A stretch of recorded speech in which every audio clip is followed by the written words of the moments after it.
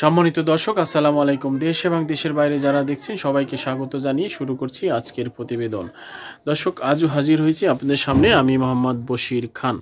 দর্শক আপনারা দেখতেই পাচ্ছেন আমাদের সামনে এক অসহায় বোন বসে আছে এবং তার জীবনের যে গল্প আমরা শুনব এবং তিনি কেনই বা আপনাদের সামনে এসেছে সে বিষয়ে কথা বললে জানা যাবে।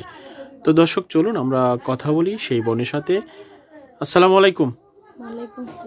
কেমন আছেন বোন? ভালো আছেন? কি নাম আপনার? রুমি? একটু জোরে বলেন কথা। রুমি আক্তার, আচ্ছা আপনি দেশে বাড়ি কোথায়? দেশের বাড়ি সিলেট। সিলেট। আচ্ছা আপনার পরিবারে কে কে আছে একটু যদি বলেন ভাই বোন মা বাবা? আমার দিকে তাকিয়ে বলেন আপা। পরিবারে কে কে আছে? বাবা মা ভাই বোন? বাবা মা ভাই বোন আছে। কয়জন আপনার ভাই বোন? তিন ভাই দুই বোন। তিন ভাই দুই বোন। আপনি কি সবার বড় নাকি ছোট না মেজো? ছোট।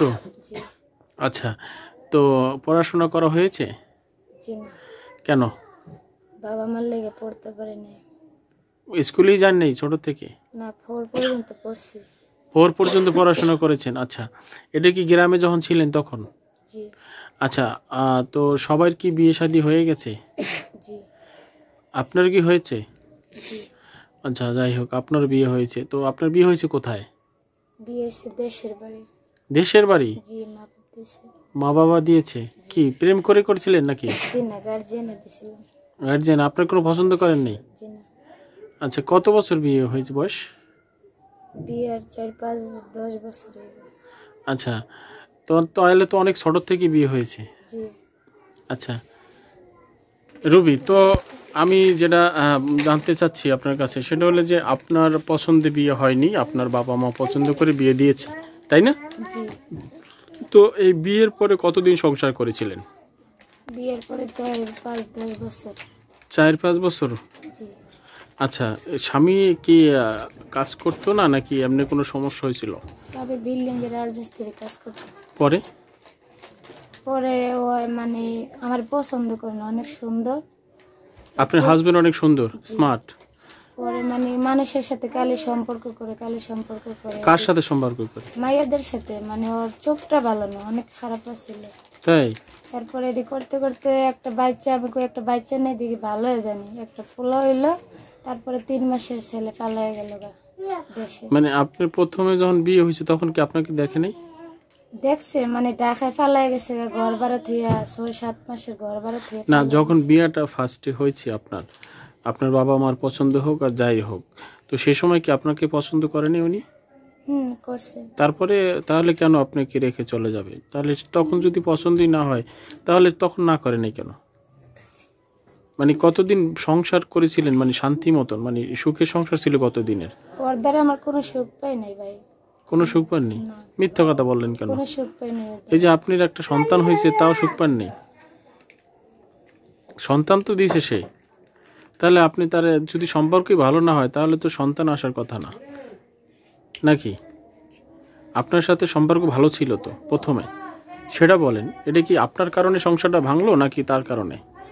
কারণে সংসার সংসার একটু ভালো ছিল সেটা বলেন যে ভালো ছিল প্রথম পর্যায়ে তারপর হয়তো বা কোনো কারণে সমস্যাটা সৃষ্টি হয়েছে। আর যদি প্রথমেই ভালো না থাকতো তাহলে তো আপনাদের সন্তান এই দুনিয়াতে আসতো না। তাই না? আচ্ছা তো এই মেয়েদেরই কি সমস্যা বেশি না ছেলেদের সংসার ভাঙার কারণে? মেয়েরা বেশি সমস্যা করে? কি করে তারা? কি করে বলেন? মেয়েরা কি জ্বালাতন করে পুরুষদের নাকি পুরুষরা জ্বালাতন করে? আপনি কি করছিলেন? তাহলে তিনি কেন আপনাকে ছেড়ে চলে গেল? একটা মায়ের সম্পর্ক করে বিয়ে করে আমার দিকে তাকাই বলেন সে কি আপনার পরিচিত সেই মেয়েটা? না এটা টাকার মাইয়া ঢাকার হুম। সে কি চাকরি করে মেয়েটা নাকি? না তখন আমার স্বামী চাকরি করতো দারোয়ানের এই যে বনেছিল আচ্ছা পরে? পরে এই কাজের মেয়ে নিয়ে পলাইছিল। পরে তারপরে দুই তিন বছর লাগে অপেক্ষা করছে তিন চার বছর অপেক্ষা করছে তারপরে আসে না? আসে নাই পরে বাড়ি গিয়ে আমি ওর তালাক দিয়ে দিছি। বাড়ি গিয়ে ওই পরিবারের মাধ্যমে তালাক দিয়ে দিয়েছেন? আমি আমার গার্জিয়ানের ডাক দিয়ে ও আচ্ছা আচ্ছা।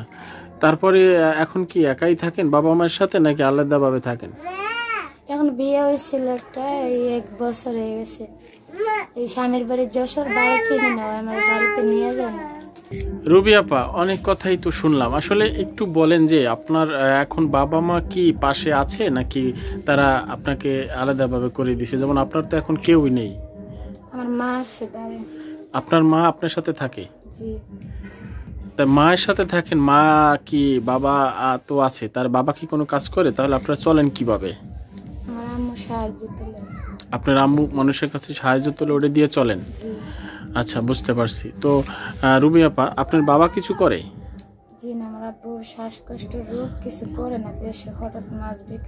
আচ্ছা আচ্ছা।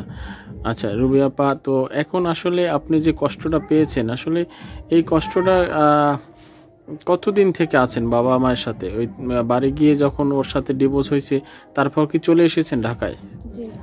বুঝতে পারছি। তো সিলেটে কি থাকার মতন পরিবেশ নেই? আচ্ছা বাড়ি আছে আপনাদের? একটু জোরে বলেন। মানে অল্প জায়গার ভিতরে বাড়ি। আচ্ছা তো আর বাইরে যারা আছে এরা কি বাবা মা কি সহযোগিতা করে? না বড় ভাই দেশে থাকে শ্বশুর বাড়ি জায়গা নেই দিকে আব্বা বাইরে করে দিছে। আচ্ছা বাবা বের করে দিছে। আর ভাইরা সবাই বিয়ে করে ফেলেছে। বোন আছে যারা সবাই বিয়ে আপনার একটু সমস্যাই তো? আর্থিকের কোনো সমস্যা নেই? আচ্ছা তো এখন আপনি কি কোনো কাজ কাম করতেন? তো এই মায়ের সংসারে আছেন মাই তো চলতে পারে না অন্যের কাছে সাহায্য নিয়ে চলে। তো আপনি কি চাকরি এর আগে করা হয়েছিল? আপনার স্বামীর থেকে আলাদা হওয়ার পরে? জি ভাই আগে চাকরি করছিলাম গাজীপুর। তারপরে? তারপরে এখন এই লকডাউনের লেগে বন্ধ দিছে তারপরে আর যাইতে পারি না বাচ্চারা এখন মানুষ বাচ্চার জন্য পারতেছেন না? আচ্ছা আপনি কি আর কোনো ছোটো কাজ কাম করেন কোথাও? জি না কোনো জায়গায় করি না আমার মার দ্বারা থাকি। মাই সাহায্য তুলে দেয় ওটা দিয়ে আপনি চলেন। আচ্ছা কাজ আপনি কাজ পাইলে কি আপনি করবেন? জি ও আচ্ছা। তো আমি যেটা জানতে চাচ্ছি সেটা হলো যে এখন আপনার সন্তানকে নিয়ে মায়ের কাছে আছেন মা সহযোগিতা অন্যের কাছ থেকে নিয়ে আপনি তাই সেটা দিয়ে মোটামুটি আহ, তারপরে চলেন এই তো? আচ্ছা তো এখন ওই যে আপনার স্বামী যে তাকে আপনি ডিভোর্স দিয়েছেন আসলে রুবি ওনার সন্তানের খরচ কি আহ, আপনার হাজবেন্ড কি দেয় এখন? জি না সারানোর পর থেকে আর কোনো ফোন টোন দেয় না বাচ্চার কোনো যোগাযোগ নাই আপনি কি যোগাযোগ করার চেষ্টা করেছেন যে আপনার সন্তান করেছিলাম আমি দুই একবার ফোন দিছি আর এই প্রায় দুই বছর আগে ফোন দিলে বকাবকি করে কইরা আমার বাচ্চা হইলে আমার দ্বারে বড় হইলে আইব না এখন আমি খাও খাওয়ান খরচ দিতে পারব না। তুই তখন ছোটবেলা দিয়ে গেলি নাকি বাচ্চা আমার দ্বারে? এটা বলে? আচ্ছা তার পরিবার কেউ সাথে যোগাযোগ আছে আপনার হাজবেন্ডের জি না। তো বাচ্চা আপনি আসলে একা কীভাবে পালবেন? যদি তিনি খরচপাতি না দেয় তাহলে তো আপনার সমস্যা। তাই না? জি বাচ্চারা দেখা হয়েছে ভাই অনেক মানে সাহায্য দিছে বাচ্চারা যখন হয়েছে বাচ্চার বাপ তখন আসছিল একটিও দিতে আপনি কি হসপিটালে বসেই? জি মেডিকেলে ছিল। ডাক্তারের লাগে সহযোগিতা করছে। এটা কি মেডিকেল লাগবে নর্মালে নাকি সিজারে নিয়েছেন? না নর্মালই ছিল। আচ্ছা আচ্ছা। তো আহ, রুবি আপা তো তখন কি ছিল যখন আপনার বাচ্চা হয়? তখন কি ছিলেন উনি হাজবেন্ড নাকি বাচ্চা হওয়ার আগেই আপনারা ডিভোর্স হয়েছে কিনা আসছিল তিন মাস পর্যন্ত আসছিল বাচ্চা হওয়ার পরে তিন মাস ছিল তিন মাস পরেই আপনার আলাদা হয়ে গেছে। ওখান থেকে কি কিছু পাননি আপনি? জি না ওখান থেকে একটা চাকরি নিয়েছিলাম দারোয়ানের কই ঘর ভাড়া টাকা সর না না না। আপনার হাজবেন্ড যখন আপনাকে ছেড়ে দিছে হ্যাঁ। তো ওখান থেকে আপনি যৌতুকের টাকা কিছু পান নাই যে আপনাকে না ছাড়া? আমার স্বামীর তো আমি তালাক দিয়ে ও আচ্ছা আচ্ছা আপনি তালাক দিয়েছেন আচ্ছা তাহলে তো আপনি কিছু পাবেন না। তো রুবি আপা এখন আসলে আপনি কি করতে চাচ্ছেন মূলত সন্তানকে নিয়ে? সন্তানকে নিয়ে মানে কি পরিকল্পনা আপনার? আমি তো চাই ভাই বাচ্চাটারে একটু পড়াশোনা করাইতাম সবাই চিল্লা চিল্লি করে। কালকে একটু নিয়েছিলাম এক জায়গায় মাদ্রাসায় ভর্তি করতাম ছয়শো এক হাজার টাকা লাগে। আচ্ছা। আমি এক হাজার টাকা দিতে পারিনি পরে বললাম আমি ছয়শো টাকা দিতে পারব আপনারে। পরে ঠিক আছে বিকেলে ভর্তি মাস শেষে ছয়শো টাকা লাগে। আপনার সন্তান কি কয় বছর বয়স? পাঁচ বছর বয়স। মাদ্রাসায় দিতে চান জি। ওখানে কি থাকা খাওয়া নাকি দিয়ে আসবেন দৈনিক? এই জায়গায় মানে সকালে আটটার থেকে দিমু রাত আমার দিকে তাকাই বলেন। আটটার দিকে দিমু রাত দশটার দিকে নিয়ে আসব আটটার দিকে দিবেন দশটার দিকে নিয়ে আসবেন। আর এমনি যদি একেবারে রাখা যায় তাহলে কত টাকা লাগবে?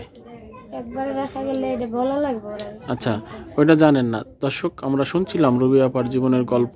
তার সন্তানকে তিনি মাদ্রাসায় পড়াতে চান এবং একেবারে যদি দিতে পারতো হয়তো বা তার জন্য ভালো হয়তো নিজে কিছু করে খেতে পারতো বৃদ্ধ মাকে নিয়ে। এটাই তার পরিকল্পনা, তাই না? আর এখন যেহেতু বাসার থেকে আসা যাওয়া করার জন্য তাকে সময় দিতে হয় বা বাচ্চাকে নিয়ে যেতে হয়। এই জন্য তেমন তিনি কিছু করতে পারেন না। মায়ের উপরে নির্ভরশীলই আছেন। আর সন্তানকে যদি একেবারে ফিক্সডভাবে মাদ্রাসায় একেবারে দিতে পারতো থাকা, খাওয়া ব্যবস্থায়, তাহলে হয়তোবা তিনি অন্য কোনো কাজ করতে পারতেন। তাই না রবি আপা? দর্শক, আসলে রুবি আপার কথা আমরা শুনব। আমাদের হাতে একেবারেই সময় নেই। আমরা অন্য কোনো দিন হয়তো বা রুবি আপা এবং তার সন্তান নিয়ে কেমন আছে সে বিষয়ে আমরা পরে জানতে পারব। তো দর্শক, আজ আর নয়, অন্য কোনো দিন হাজির হব, হাজির হব। সে পর্যন্ত সবাই ভালো থাকবেন, সুস্থ থাকবেন এবং আমাদের সাথেই থাকুন। আল্লাহ হাফেজ। রুবি আপা, আসসালামু আলাইকুম।